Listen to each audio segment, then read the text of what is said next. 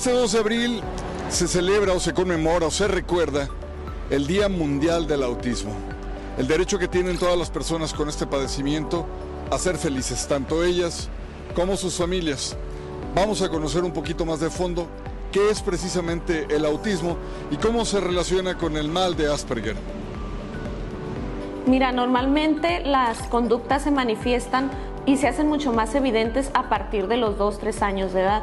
Al nacerse es un poco complicado detectar si el niño o niña va a tener o cursa con el trastorno del espectro autista. Por ser una condición que es desde el nacimiento y que se da desde la gestación, pues no hay algún estudio previo o un este examen que se haga al nacer donde te determine que el niño nació con autismo. Entonces, a partir de los 2, 3 años de edad, de edad en los que el, niño empieza con esta etapa de desarrollo, a interactuar, que se da el lenguaje, en, la mayoría de los casos con autismo, el niño habla y deja de hablar este, manifiesta berrinches que aparentemente no tienen alguna razón. Este, sensorialmente le afectan los, los sonidos, las texturas, es a veces hiperselectivo con los alimentos, pero como te menciono, por tratarse de un espectro es demasiado complejo. Lo que a un niño a los tres años con autismo no le puede molestar, a otro niño sí le puede molestar. Lo que puede tolerar algún sonido y otro niño no lo puede tolerar. Entonces hay signos de alerta que debemos de tener como bien identificados y uno de ellos podría ser el lenguaje y la interacción, que tanto socializa y en esa etapa principalmente cómo juega si el niño juega con los demás, si busca este acercamiento con papá o con mamá, cómo es su lenguaje y la manera de comunicarse. Se imagina que usted llega a un evento, fiesta, reunión y hay una persona en condición de autismo o Asperger y usted quiere convivir pero no sabe cómo acercarse. Mire, aquí le explican exactamente qué es lo que debe de hacer.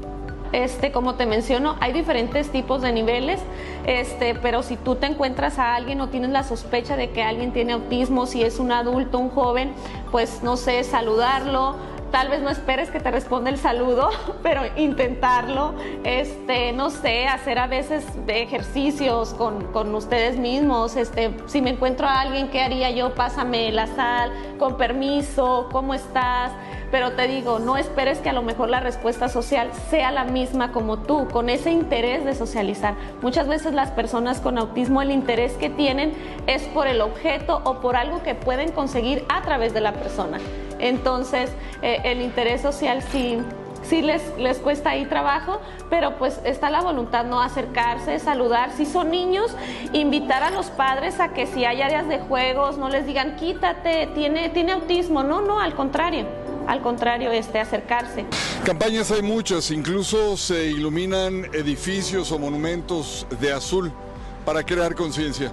Pero créame, podemos hacer más, podemos hacer muchísimo más. Bueno, pues ahorita, como te menciono, ya hay mucha información, buscar información que sea fidedigna, confiable, de páginas que realmente todos tenemos a, conocemos a alguien que tiene autismo, ya sea un vecino, un amigo, un familiar, sentir un poco de empatía. Eh, acercarnos y decirle qué tiene, qué es lo que le pasa, no juzgar, no tener un ojo crítico, más bien interesarnos porque realmente va a haber algún momento de nuestra, de nuestra vida diaria en el que vamos a convivir con alguien, que haya un interés, pero un interés genuino, no solo el día 2 de abril, sino siempre, porque el autismo es algo que no solo se vive un día, es algo que, que está para quedarse con la persona que tiene el diagnóstico.